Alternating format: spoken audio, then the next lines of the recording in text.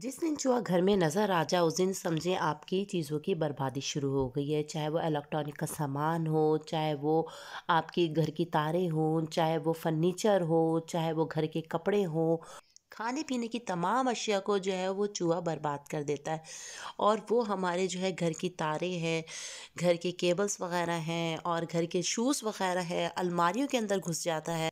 तो ऐसे में हम क्या करते हैं, घर से चूहे भगाने के लिए बाहर की केमिकल की दवाइयाँ ले आते हैं, जिससे क्या होता है, चूहे कहीं भी जाके मर जाते हैं और घर के अंदर बहुत स्मेल हो जाती है। तो ये रेमेडी मैं आपको जो बताऊँगी तो इसे चूहे खाएँगे और खाकर जो है वो घर के बाहर जाके मर जाएँगे, घर के अंदर नहीं मरेंगे। चलिए हम वीडियो स्टार्ट करते हैं। असलम के व्यूवर्स, कैसे हैं आप सब लोग? आज मैं आपको एक ज़बरदस्ती रेमेडी बताने जा रही हूँ, जिसे चूहे से आपकी हमेशा के लिए जान छुट जाएगी। यहाँ मैंने जो है वो एक मुट्ठी चावल ली है। क्वांटिटी का आपको ज़रूर ख्याल रखना है। उसके बाद मैंने तीन से चार जो है, मैंने माचिस की तीलियाँ ले ली हैं। माचिस की तीलियाँ लेने का मकसद ये है कि इसके अंदर जो बुरादा होता है माचिस की तीलियों का तो उसे खाते ही चूहे जो है वो मर जाते हैं।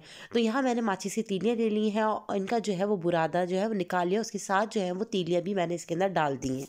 इसके बाद आपने क्या करना है कि इसको जो है वो थोड़ी देर के लिए हल्का सा तवे पे भूनना है। भूनने का मकसद ये है कि चावलों की थोड़ी सी स्मेल आती है, जो कि चूहों को बहुत ज़्यादा पसंद होती है। उसके बाद आपने इसके अंदर हाफ़ टी स्पून हल्दी डालनी है और उसके बाद आपने इसके अंदर जो है, अगर आपके पास काफूर है, काफूर की गोलियाँ डाल दें और अगर आपके पास काफूर की गोली नहीं है तो आप फिटकरी भी डाल सकते हैं। मैंने इसके अंदर एक अदद काफूर की गोली ले ली है और उसको जो है मैंने इसके अंदर पीस के डाल दूँगी। इस तरह मैंने इसको पीस लिया है और वो इसके अंदर मैंने डाल दी इसको अच्छी तरह से मिक्स करेंगे। अच्छी तरह से मिक्स करने के बाद आपने इसके अंदर जो है वो हाफ़ टी स्पून के करीब मिर्चें डालनी है। लाल मिर्च, जो पीसी हुई लाल मिर्च होती है, वो आपने इसके अंदर डाल देनी।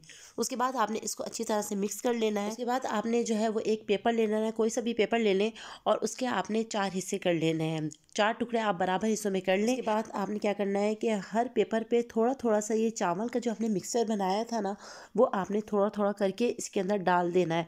और फिर जो है इसको ऐसी जगह पे रखेंगे जहाँ से चूहे आते हैं। यहाँ पे मैंने जो है चारों पेपर्स में जो है वो थोड़ा थोड़ा करके डाल दिया है।